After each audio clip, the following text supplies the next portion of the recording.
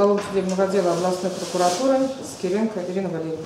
Ирина Валерьевна, итак, а на какой стадии сейчас рассмотрение дела и что вот удалось узнать суду, выяснить суду за эти дни?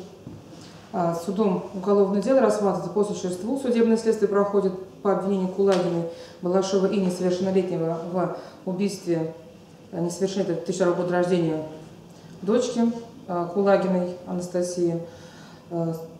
Допрошены настоящим сегодня в судебном заседании а, обвиняемые, а, которые воспользовались в основном 51 статьей Конституции, поэтому были оглашены их показания, данные в ходе предварительного следствия. Несовершеннолетний а, дополнительно на, после оглашения показаний на вопросы участников процесса пояснил о том, что а, в семье была очень тяжелая обстановка постоянно, избиение и прессинг стороны Балашова.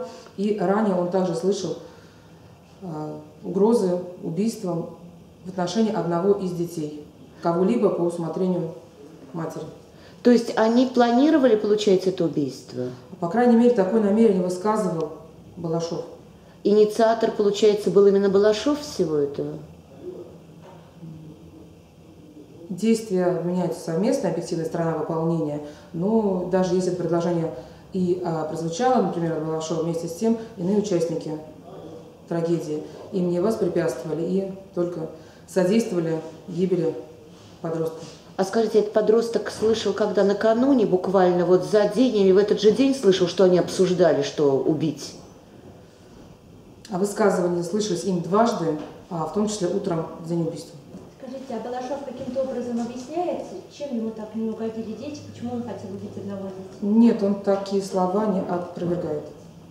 А мать раскаивается в случившемся, она хоть как-то сожалеет о том, что произошло? Ну, визуально, внешне, словесно выражение раскаяния есть.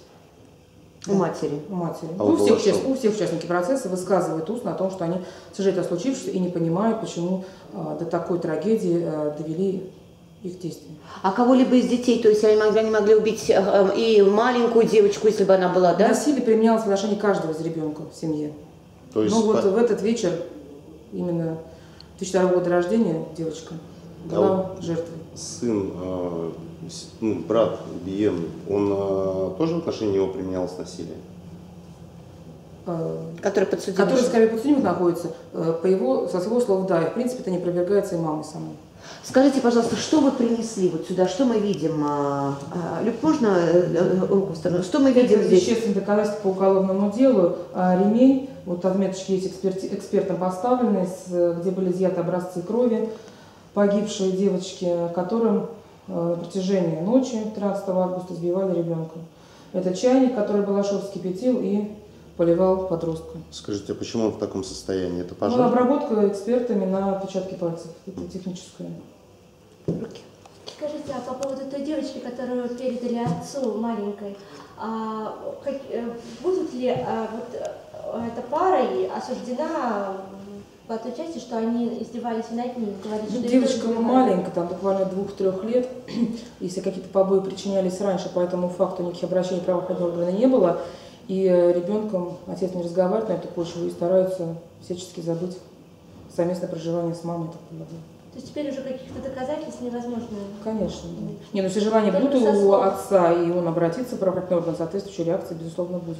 А поскольку у нас тоже нас декриминализирован, да, состав уголовного наказания в сфере нашего нового уголовного закона, я так полагаю, здесь, наверное, не будет. Сейчас какая стадия уголовного дела слушали в суде? Допрос подсудимых. Еще дол- долго будет рассматриваться, по-вашему? Я думаю, что нет.